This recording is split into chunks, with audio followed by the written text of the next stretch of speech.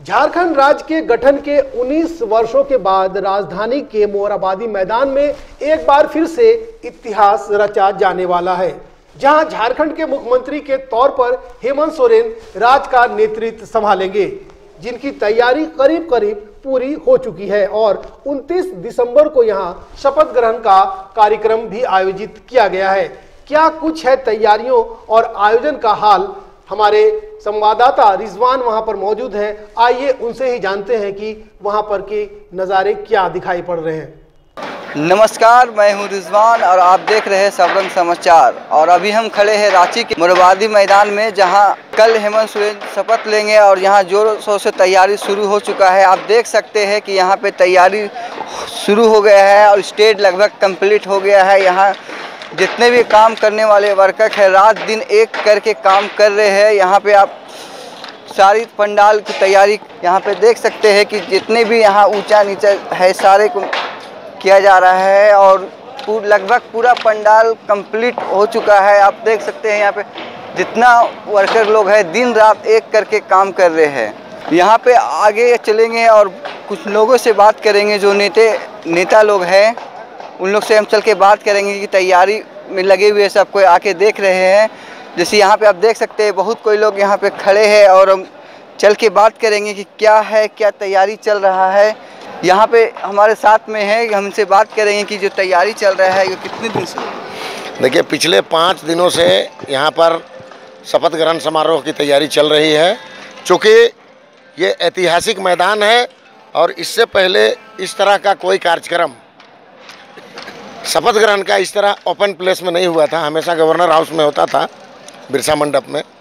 लेकिन इस बार हेमंत सोरेन ने साफ़ शब्दों में कहा कि सारे क्षेत्र से जनता मेरी आवाज़, मेरे शपथ ग्रहण को सुनना चाहती है, देखना चाहती है, इसलिए बड़े मैदान में किया जाए और उसी के वजह से यहाँ पर बड़ा पंडाल का बनाने का आयोजन किया गया है। दस हज़ार सिर्फ़ कुर्सियाँ हैं तो आप समझ सकते हैं कि कुर्सियाँ जब दस हज़ार हैं और आदमी बीस हज़ार से अधिक होंगे तो ये भवता उसका और बढ़ जाता है। तो इसलिए तैयारी को देखते हुए हर किस्म का इंतज़ाम भी किया जा रहा है कि कैसे इस कार्यक्रम को भव्य से भव्य बनाया जा सके।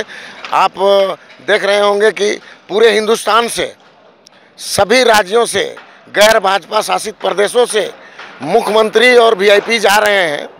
तो आप इस कार्यक्रम की लोकप्रियता को इससे अंदाज़ा लगा सकते हैं कि किस तरह से हेमंत सोरेन अब झारखंड के ही नहीं बल्कि नेशनल लीडर हो गए हैं और उनको सब उनको आशीर्वाद देने के लिए तमाम क्षेत्रों से बड़े बड़े वीआईपी जा रहे हैं।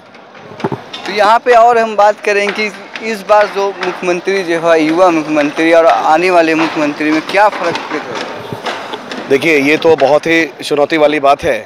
आज कमोवेश 18 सालों से लगातार किसी न किसी रूप में भारतीय जनता पार्टी की सरकार यहाँ पे राज्य की है।